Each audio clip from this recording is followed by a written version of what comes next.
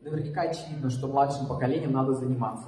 Они другие, да, мы это принимаем, мы это уважаем, но свой опыт надо передавать.